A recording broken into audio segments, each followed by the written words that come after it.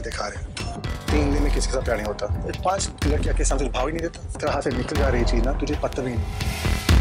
राजीव ने घर में आते ही मचाया बवाल। ईशान और मायशा के रिश्ते पर उठाए सवाल।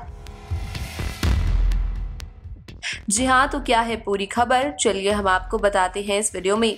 वेल बिग बॉस के घर में वाइल्ड कार्ड कंटेस्टेंट के तौर पर राजीव अदातिया की एंट्री होने वाली है।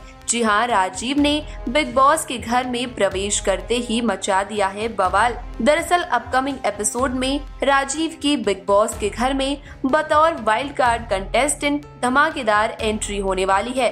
जहाँ वो पंपकिन से बाहर निकलते हुए नज़र आने वाले हैं। जी हाँ और राजीव ने आते ही ईशान और मायशा के रिश्ते पर सवाल उठा दिए हैं और ईशान से ये पूछते हुए नज़र आए हैं कि तीन दिन में किसी को सच्चा प्यार कैसे हो सकता है। वहीं ईशान को ये कहते हुए भी वो नज़र आए हैं कि बाहर बहुत वलगर दिखाया जा रहा है। राजीव ईशान को नसीहत देते हुए नज़र आ रही हैं कि तुम्हारे पास काफ़ी बढ़िया मौके थे, लेकिन तुमने सारे मौके गवा दिए।